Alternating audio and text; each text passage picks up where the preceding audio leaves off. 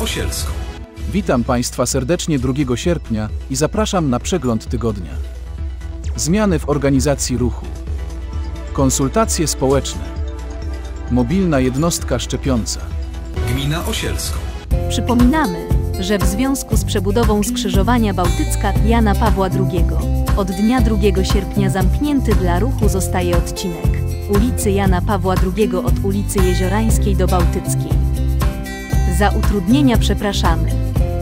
Pamiętaj, aby być na bieżąco ze wszelkimi informacjami, zainstaluj aplikację Blisko na telefon i subskrybuj nas na YouTube.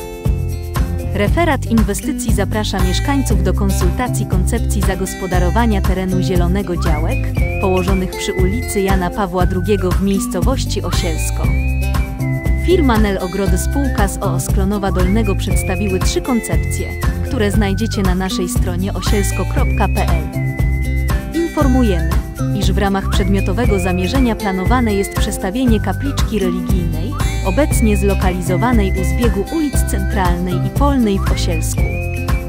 Nowa lokalizacja kapliczki została zaznaczona na przedstawionych koncepcjach.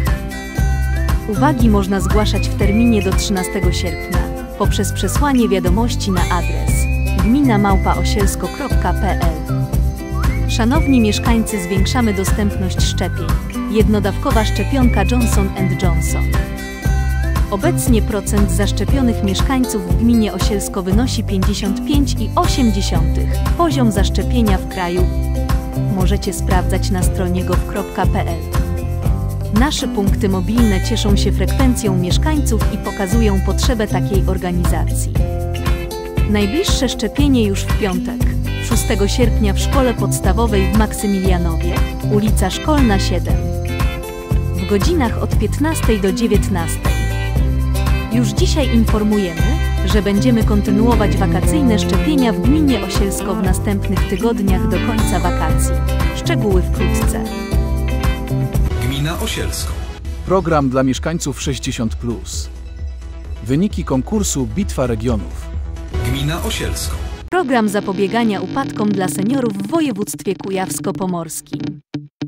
Serdecznie zapraszamy mieszkańców gminy Osielsko, którzy ukończyli 60. rok życia do zgłaszania się do programu realizowanego wspólnie z samorządem województwa kujawsko-pomorskiego, którego celem jest zapobieganie upadkom wśród osób starszych. Celem programu jest poprawa sprawności krążeniowo-oddechowej, siły i wytrzymałości mięśniowej, gibkości oraz równowagi. Osoby chętne mogą zgłaszać się bezpośrednio w placówce Gminnego Ośrodka Sportu i Rekreacji w Osielsku przy ulicy Tuberozy 2. Więcej informacji pod numerem telefonu 52 320 0309 do dnia 12 sierpnia 2021 roku. Dniu 13 sierpnia od godziny 12 w GOSI zostaną przeprowadzone badania kwalifikacyjne do udziału w programie, obejmujące badanie lekarskie wraz z oceną sprawności fizycznej. Po zakwalifikowaniu przez lekarza, uczestnicy będą poprawiać swoją sprawność na zajęciach trzy razy w tygodniu po 45 minut. Cały okres ćwiczeń to 3 miesiące. Gmina Osielsko współrealizuje program już po raz czwarty i wiadomo, że uczestnicy dzięki regularnym ćwiczeniom poprawiają swoją kondycję, co potwierdzają wyniki przeprowadzonych badań na zakończenie cyklu treningowego. W zeszłym roku pandemia uniemożliwiła przeprowadzenie treningów do końca. Ze względu na obostrzenia program został przerwany. W tym roku mamy możliwość zaszczepienia się przeciwko COVID-19. To jedyny w tej chwili sposób ochrony przed wirusem i szansa na powrót do normalności. Dbaj o swoją odporność. Podejmij decyzję i zaszczep się. Dla siebie i dla nas. Znamy już wyniki konkursu kulinarnego Bitwa Regionów.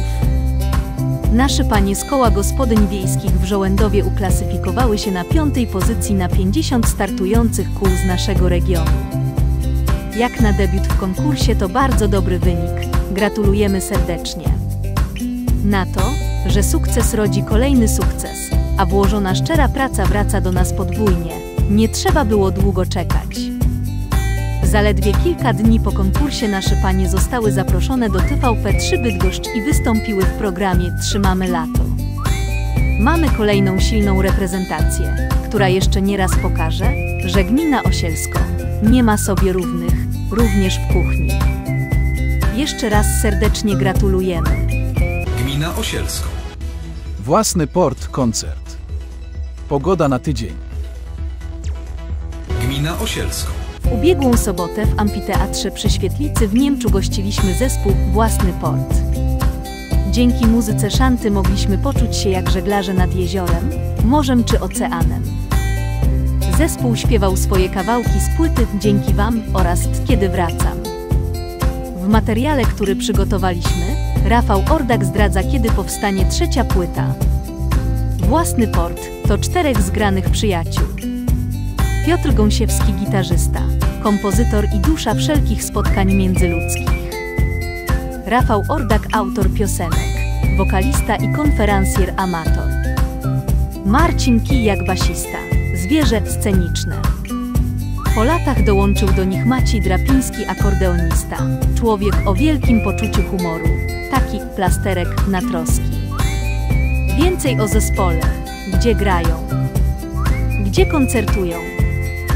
Dowiecie się z ich strony internetowej własnyport.pl. Było pięknie, było rodzinnie. Jeżeli nie mogliście być z nami, koniecznie obejrzyjcie koncert. Organizatorem koncertu był Gminny Ośrodek Kultury Osielsko i Świetlica Niemcz. Link umieszczamy pod przeglądem. W tym tygodniu nadal ciepło do 24 stopni Celsjusza. Od środy możliwe przejściowe opady. Ilość osób subskrybujących kanał YouTube Gmina Osielsko od zeszłego tygodnia wzrosła o 7 i teraz mamy już 270 subskrybentów. Dziękujemy wszystkim, którzy zasilili to elitarne grono. Jest nam niezmiernie miło, że poświęcacie swój czas i uwagę, oglądając nasze materiały. Dla Was warto się starać. Subskrybujcie, lajkujcie i trzymajcie się zdrowo. Do zobaczenia za tydzień.